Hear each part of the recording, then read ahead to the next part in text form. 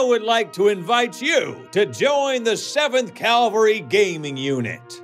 We were founded in 2002 and have been one of the largest and most active units in ARMA. We believe in cooperation as our core gameplay style. You won't find any fancy operator gear here, as we train to rely on battle drills and battle buddies to keep us safe. We find it is more rewarding to work together rather than relying on tools to get the job done.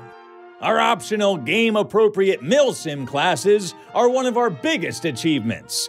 We also run operations most Saturdays at EU and US friendly times where you can play as Rotary, Tank Crew, Combat Medic, Cavalry Scout, and Airborne Infantry.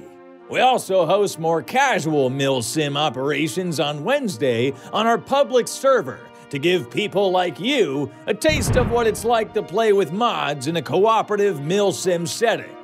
If you do decide to join and partake in our more structured gameplay, don't be fooled by our intro rhetoric of military bearing and procedure. That is all for fun, and it's up to you how hooah you want to be.